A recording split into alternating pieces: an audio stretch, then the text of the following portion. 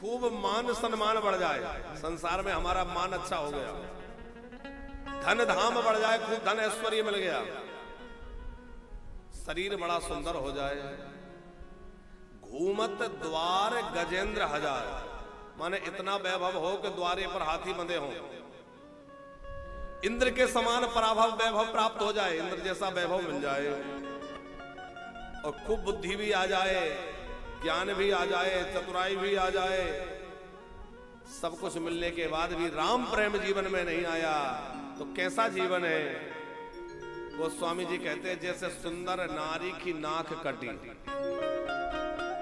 कोई स्त्री सर्वांग सुंदरी है नक्सिक बड़ी सुंदर है, और बहुत सुंदर आभूषण धारण कर रखे हैं, बड़ा सुंदर श्रृंगार धारण कर रखा है, और उस नारी की नाक कटी हो तो सुंदर लगेगी।